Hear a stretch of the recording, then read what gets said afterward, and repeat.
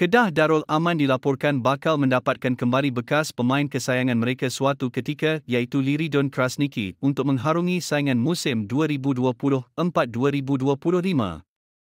Nama Liridon bukan lagi suatu yang asing dalam dunia bola sepak Malaysia, apatah lagi buat para penyokong Kedah, kerana beliau pernah menggegarkan sang kenari pada suatu ketika selaku pemain import.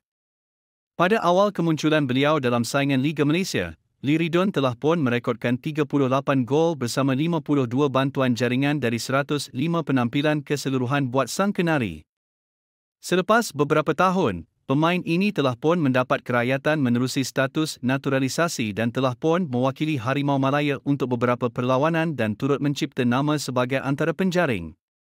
Walaupun sejak beberapa musim ini status permainan Liridon di atas padang sering diragui peminat, tahun lalu menyaksikan beliau berjaya mencipta kebangkitan daripada segi prestasi bersama Terengganu.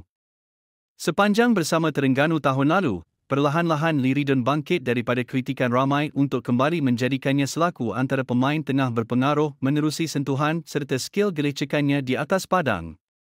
Malah, Liridon juga turut mencipta dua gol bersama dua bantuan jaringan sepanjang 27 perlawanan dihadapi ketika bersama sang penyu.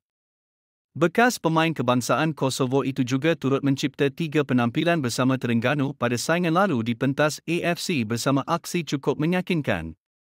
Dikaitkan kembali bersama Kedah, ia boleh dianggap sebagai suatu nostalgia terbaik buat para penyokong fanatik pasukan tersebut selepas banyak kejayaan diperoleh mereka suatu ketika bersama Liridon.